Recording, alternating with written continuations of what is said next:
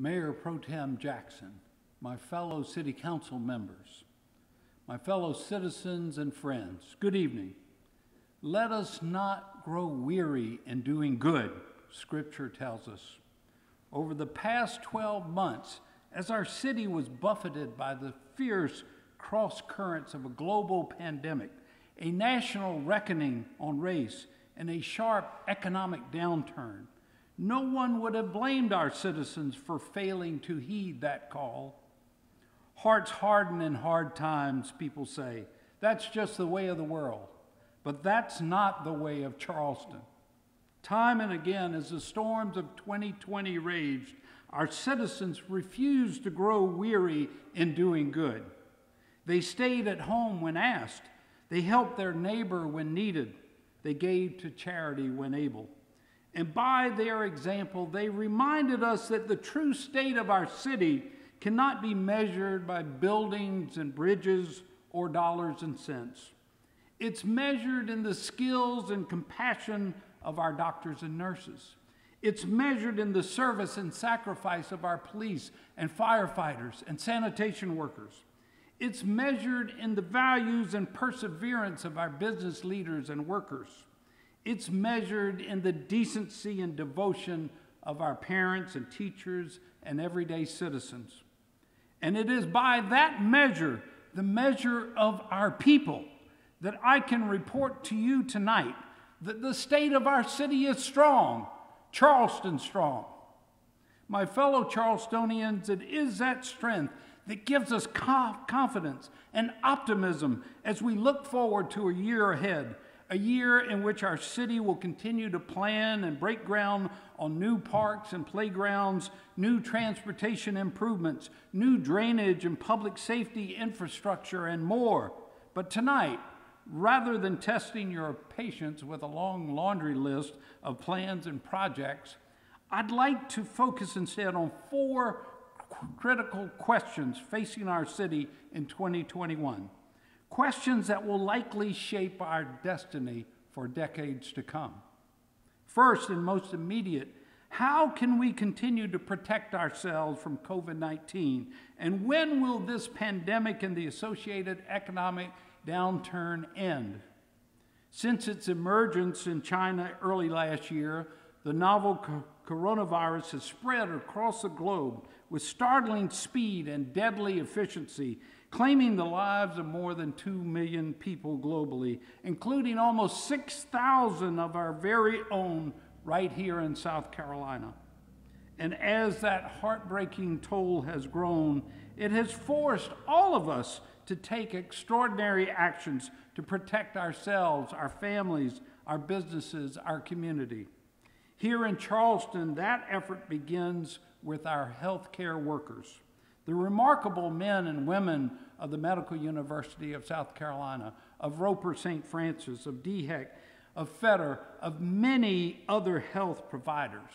Every step of the way, from the closures of early spring to the mask requirements of today, their expertise and advice have ensured that our city's response to this emergency has always been grounded in the best science and metrics available.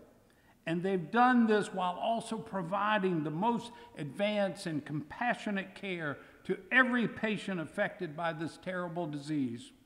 They are the heroes of this pandemic, and we thank them deeply for their service.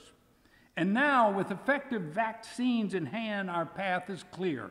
First, our dedicated city staff, which has been nothing short of remarkable throughout this crisis, must continue to work with our medical and business communities to prepare for the day soon when large amounts of the vaccine are available and widely distributed.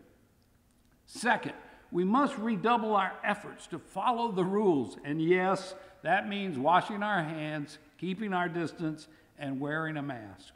Finally, we must continue to support our local and small businesses with innovative initiatives such as our new Central Business District Improvement Commission, our revolving loan fund, the changes we're making to parking and zoning issues, and even more.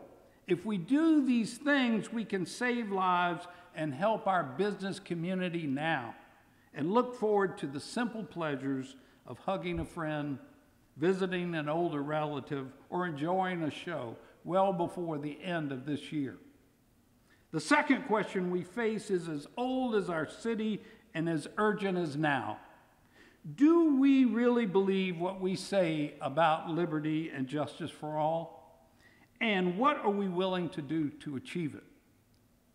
From our founding in April of 1670 to this very day in January of 2021, the problems of racial oppression and injustice have torn at our city's soul. As we know that to heal that breach, we must finally and fully eliminate the systemic barriers that continue to make the dream of racial equity a deferred dream. Will this work be quick and easy? Of course not. But for the first time in our long and complicated history, we can begin to imagine that shared future and opportunities for all of our citizens.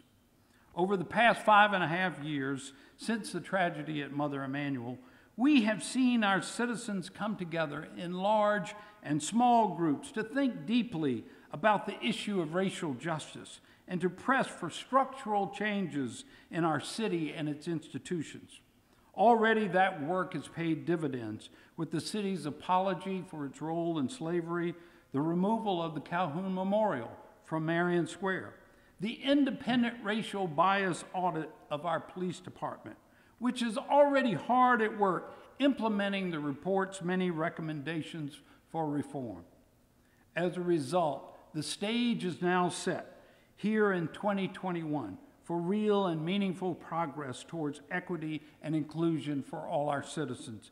As our Commission on Equity, Diversity, and Racial Conciliation readies its far reaching proposals for City Council, and also, the International African American Museum moves ahead with its plans to excavate the forgotten stories, the suppressed stories of Charleston's black citizens and to begin sharing that remarkable history with the world.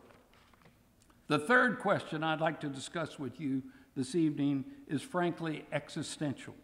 How will we secure Charleston's future as the climate continues to change and the waters continue to rise? At this point, we all understand the threat our city faces from flooding. And we know that without bold action, the future can only be one of surrender and retreat. Currently, we have a sound strategic plan in place and millions of dollars in flood preve- uh, prevention work underway throughout the city, with major projects moving forward West Ashley, on the peninsula, and on James and Johns Island. In addition, we have three major decisions ahead of us in 2021 that will set the course for our climate and flooding protection strategy for years to come. First, we will consider a new citywide comprehensive plan that puts flooding at the center of our future development decisions by implementing the land use recommendations of the Dutch dialogues. Second, we will decide whether to move forward with the Army Corps of Engineers plan to build a seawall around the peninsula, a project that will provide protection from storm surge and rising sea level, as well as the potential for approximately $1 billion in much needed federal flooding assistance. In that regard, I'm pleased to announce tonight that the city is currently working to add a new drainage component to our existing partnership with the Army Corps. With this initiative in place, Charleston would not only receive the benefit of their world class engineering expertise for drainage, we would once again have the opportunity to unlock federal matching funds for long term flooding and drainage needs. And third, we are working on our city's climate action plan, a detailed strategy to reduce emissions and help us do our part to mitigate climate change. And with that process now moving forward, we intend to bring the climate change plan to council this year. The final question before us tonight is this How can we preserve affordability in our housing market to ensure that Charleston remains a working city in years to come? Like successful cities all over America, Charleston is experiencing what has rightly been called a crisis in housing affordability. In fact, without decisive action, Charleston could one day become less a city and more a fleeting pleasure for well to do visitors, out of state students, and part time second homeowners. To guard against this, Charleston is fighting on every housing front. First, we're directly investing $50 million in affordable housing across the city and leveraging even more to produce 1,000 new units.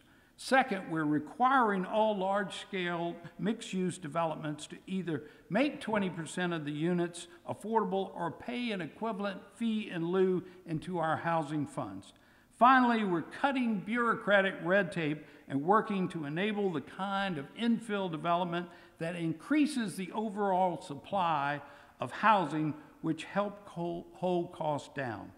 Looking ahead, we're working with our local partners to establish and fund new initiatives, including a countywide affordable housing plan and a regional housing trust. My fellow Charlestonians, as the coronavirus um, uh, reminded us in 2020, tomorrow is always a mystery. So we cannot say for certain what new challenges 2021 will bring. But because we know ourselves and our city, we can say this whatever the challenge, whatever the test, we will not hide, we will not shrink, we will not fail, and even more, we will not grow weary from doing good. Thank you. God bless you. God bless the great city of Charleston. Good night.